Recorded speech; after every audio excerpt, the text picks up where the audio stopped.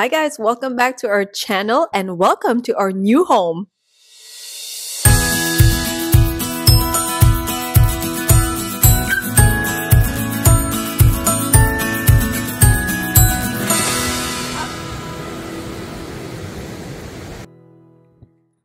Happy 2024. We have a new intro to start off the year. I really like this little tradition that we have to kind of refresh the look of the channel. With Oasis growing so fast, I feel like year after year, he just looks completely different. So I feel compelled to like do a new intro. Herky and Milton stay the same. They're still the same adorable little angels. So for them, it, nothing really changes, but just for the Oasis part, I feel like I had to revamp it. It seems like I've been doing this video a lot in the past few years, like welcome to our new home, new office, new this and that. But again, welcome to our new home. We are now in Florida. We are no longer California bound in the winters. This is our new home in Florida. For years, every winter and every chance we get, we always go to California. And since we got Oasis, we did get a house in California where we could stay every time we went to make travels easier and just to be more comfortable in our own home. However, we noticed that with a baby, traveling with two dogs and a baby, although it's doable, going all the way from Montreal to California is a bit taxing on us on the baby, and on Herky and Milton. I did notice that it, the travel is getting harder and harder on Herky and Milton, especially on a six hour flight. They have to hold their potty so long that it was getting a bit difficult on them. So, when we went to Florida last spring, I would say, for just travels, we realized how easy the transit was to Florida. But we did notice that year after year, California gets way colder than expected. We are in the Tampa area in Florida. We are slowly getting settled into our new home. Traveling was such a breeze this time around because we had all our things here already. So we traveled with two luggages. My mom was there to help us. Honestly, a three hour flight versus a six hour flight makes such a difference. And California, the thing is that it, there's so many people, there's so much traffic that when we got to the airport, we always had to stay overnight somewhere because it by that point, it had been like 12 hours of travel already because we live far from the airport. So once we get to California, there's always another additional like two hours to get to wherever we live. So it was a bit taxing on all of us. So usually it involves a night at a hotel. But here we are in Florida. So far, the weather has been a bit gloomy. It is more humid than California, which is great for my skin, honestly. I did find that California was like really dry on the hair, on the skin. But here with the humidity, everything is adapting pretty well. Everything here in Florida kind of seems familiar too. It's not very different from Montreal, I find.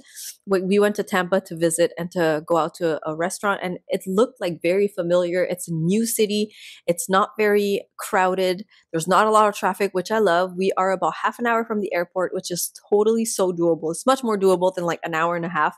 So, for all those aspects, we are really enjoying it so far here. We are in a brand new community, and Herky and Milton are loving it. There's a lawn guy like right outside.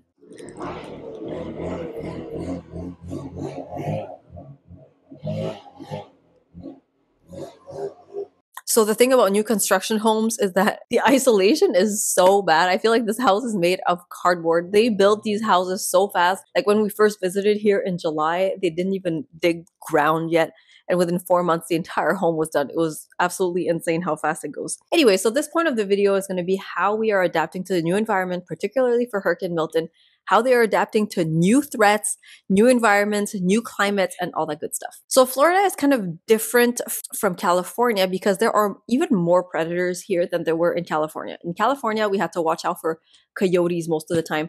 And ever since we've been spending a bit more time in California, we were always very careful with coyotes. The girls rarely get any off leash time in California, except when it's an enclosed area, a grassed area where we can see everything but they never go out to the yard in the front or in the backyard on their own without a leash. We've always been very careful because of coyotes, there's hawks as well. In certain areas of California, there's even bobcats and mountain lions. So that was really scary because of the canyony type of environment. Here in Florida, what you have to watch out for is birds of prey. There are so many hawks out here, especially we are in a newer development. There were a lot of forests and swamps around here. There's a lot of birds. I see them circling around all the time, and their wingspan is ginormous. Like they are so big. They are by far like so much bigger than and Milton. And everybody that we meet that is Florida native tells us to be careful for the hawks. And the hawks could definitely get and Milton, especially Milton. Like she is so tiny.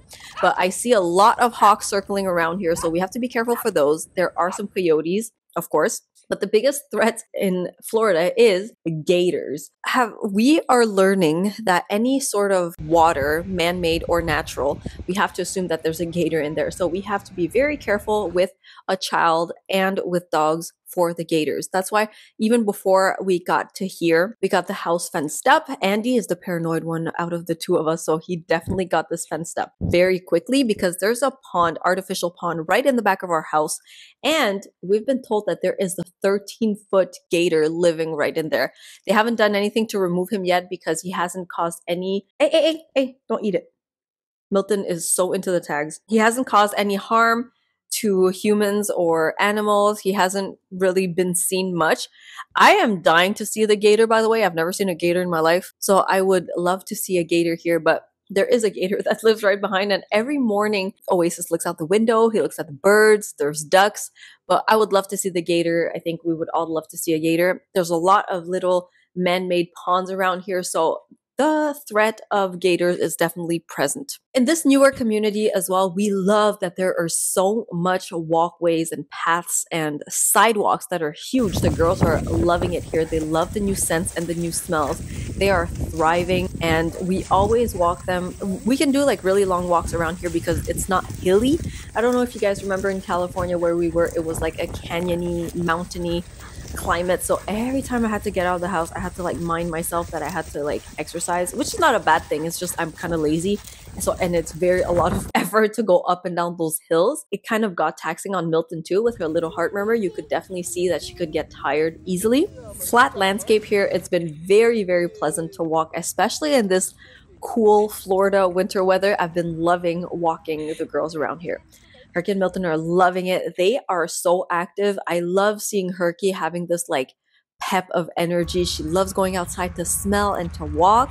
So they are definitely adjusting so well. They love this kind of weather. It's it's cool. It's not too hot.